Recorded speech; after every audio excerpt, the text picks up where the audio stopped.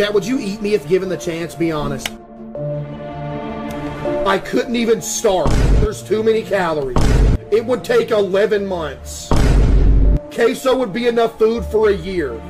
Your weight would feed a full bloodline for 20 years. 50,000 calories.